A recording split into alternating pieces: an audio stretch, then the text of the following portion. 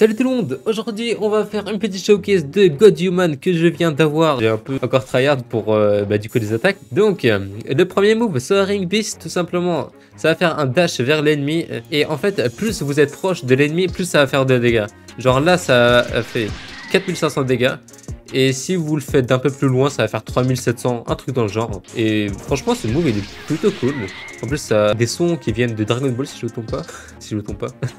et puis, ouais, voilà quoi. Donc, euh, c'est tout pour la première attaque. Et le stylé, je l'aime bien. Et 125 de mastery pour l'avoir. Après, il y a le deuxième move, c'est Heaven and Earth. Euh, en gros, paradis et la terre. Donc, si vous appuyez juste l'attaque ça va balancer du vent qui va faire 3510 dégâts et ça va balancer les ennemis en l'air à l'endroit où ils sont, ce qui est quand même utile pour les combos pour le coup. Et sinon, si vous restez appuyé tout simplement sur le move, enfin ouais, bon là euh, vous n'allez pas exactement voir les bons dégâts, mais en gros ouais ça fait 5200 dégâts, un truc dans le genre. Voilà, c'est quand même beaucoup pour le coup. Mais le seul truc qui est un peu dommage, c'est que bah, en fait, il faut la charger pendant longtemps. Du coup, bon, dans la plupart des cas, vous allez plutôt faire ça, je pense. Je pense hein, Et puis ensuite, finalement, il y a la dernière attaque. Il y a aussi deux différents types d'utilisation. Il y a tout simplement l'attaque où vous appuyez dessus, qui va faire ça.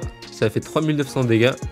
Et puis c'est instantané quoi, c'est direct et puis euh, ça va plutôt loin. Ouais ouais, et c'est utile pour euh, se déplacer vite surtout. Et puis si vous restez appuyé avec l'attaque, vous avez vu là il y a l'animation et dès que c'est terminé vous faites ça et ouais ça fait un truc de malade.